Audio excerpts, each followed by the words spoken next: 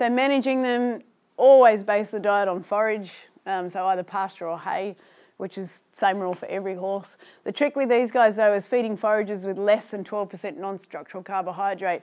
And for you in Victoria, this is almost impossible because so many of your hays are ryegrass or cereal hay, and ryegrass and cereal hay have got a, a um, tendency to accumulate a lot of these non-structural carbohydrates. I've tested a, an oat pasture um, that was about 33% non-structural carbohydrate, just the leaves. There's no grain, so it had about um, the same amount of um, starch and sugars as what oat grain had. Um, so it's really, really, really difficult for you in Victoria to find suitable forages for laminitic horses because you don't grow them down here. When I do these presentations up in Queensland, I'm like, oh, you guys are set. You've got bluegrass, you've got Rhodes grass, you've got a whole heap of Queensland native grasses that you can feed, and they, they um, find it quite easy to find hay. So what you often um, end up having to do is soaking the hay.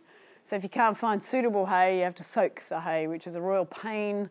Um, and I have said to my horses that if they ever get laminitis to the point where they need soaked hay, then they're probably not going to survive because I don't have time for soak hay for horses because um, it is it's really really time consuming and I take my hat off to people who are committed enough to their horses to do this because there is a lot of people who do soak hay. Do you think that really works? Yeah, it does.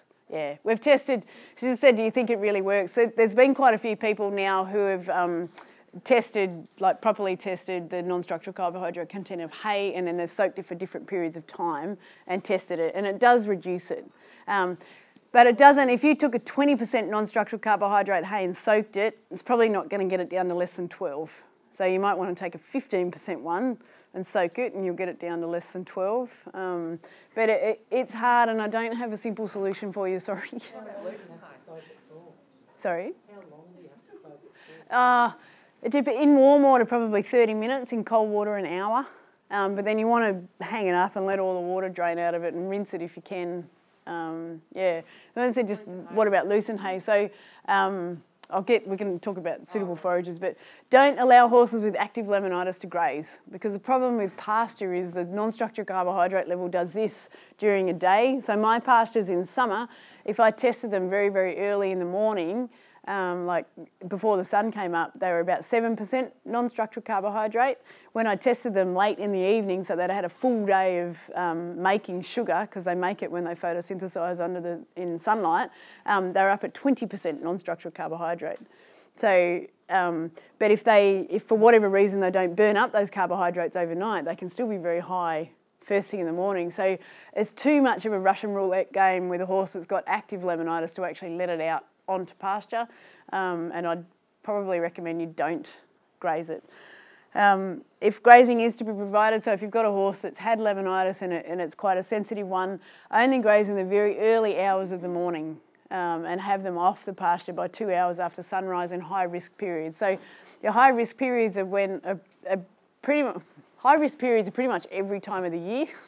um, we see laminitis all year round, but but classically, your high risk periods down here are um, autumn and spring, but winter can also be a very high risk period too. So what happens during the day when the, the plant photosynthesizes is they, they create a lot of sugar, but then if you get a very cold night, they actually sit quite dormant overnight. They don't burn up many of those sugars, and then you come the next day and they photosynthesize again and they build the sugar up again, and then they sit a little bit dormant overnight if it's cold and frosty, and then they photosynthesize again. So it just the sugar levels keep gradually creeping up and up and up, and you can get them when like with the oat pasture that I saw, and we test um, temperate grasses as well that have been up over 30% non-structural carbohydrate. So they can be a disaster for these horses.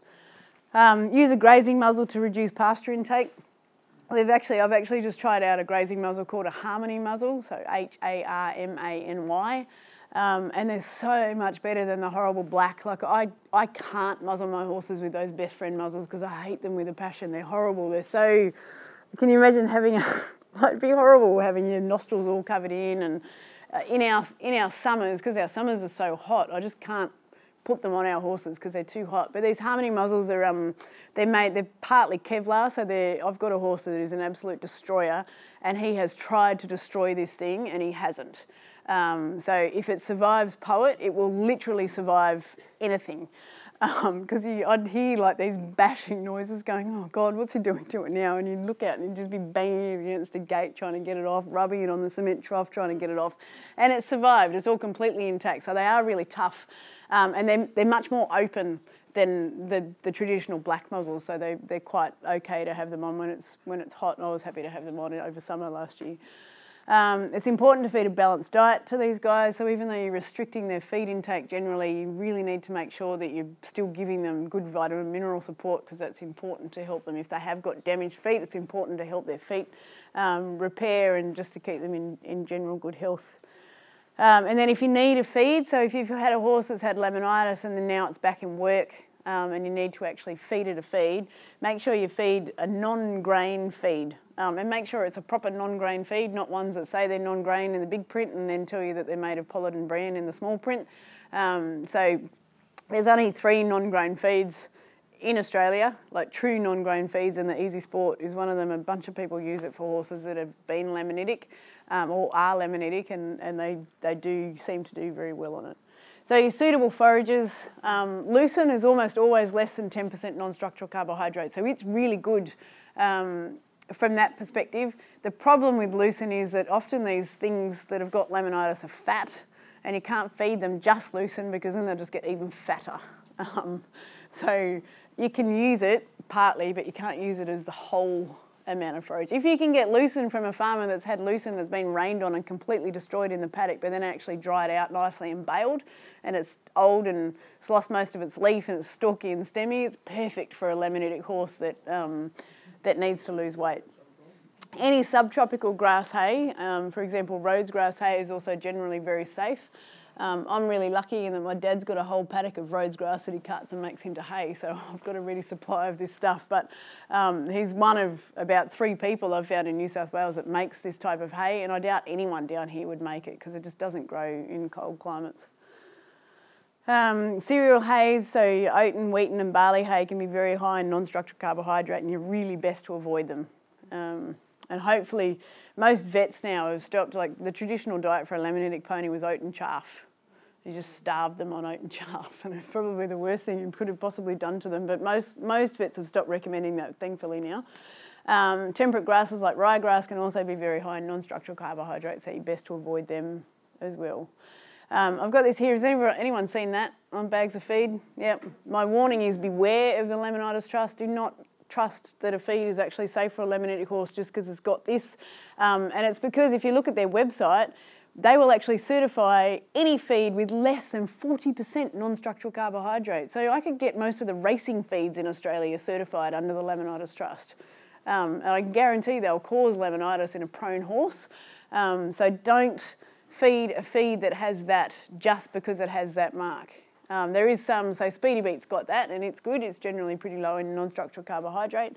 Um, but there is other feeds that have got that that should not be fed to laminitic horses because they contain grain. Continue watching more of this video by clicking on the link below to visit our website. Learn from the best riders and get the best nutrition advice in Australia and connect with a community of passionate people to improve yourself in the equine world. Just click on the link below and we'll see you soon.